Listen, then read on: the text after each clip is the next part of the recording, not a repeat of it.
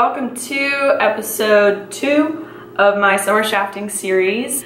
This episode is going to include the first three days of my 10 day trip to Green Turtle Cay in the Bahamas. The first part of this video was basically uh, West End. We stop, well, we leave from Palm Beach Inlet to West End to do two things, fuel up and um, clear customs.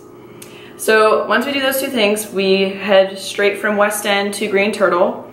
It's about a four hour drive. We were on a 35 foot Everglades boat. Okay, so first day you get there, immediately we unload everything, just get everything off the boat. Um, and then right after that, since, I mean, these trips fly by, they go by so fast, we head straight out to our first dive spot and we spear some fish. Um, first day was pretty good. Then um, second day we did some more spearing. Third day, I think it was, yes, the third day, we did a grill at Munjack Cay, which is really cool. It's a kind of it's close to Green Turtle. You get there by boat. And um, we grilled. It's really fun because they have some stingrays that live there. Some really curious, hungry stingrays. It's a really good time. Um, I would really highly suggest going there if you're ever in Green Turtle.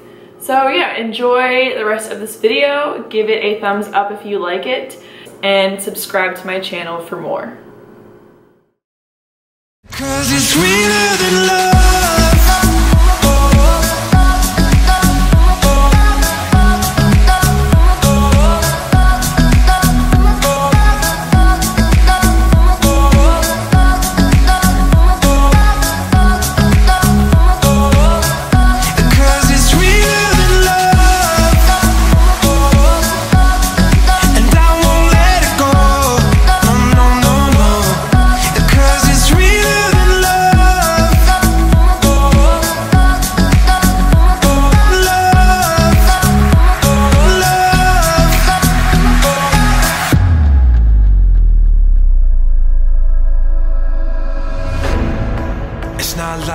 Trying to be so ungrateful. It's just that I hated myself.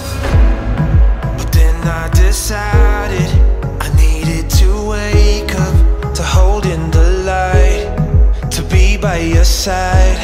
So please don't deny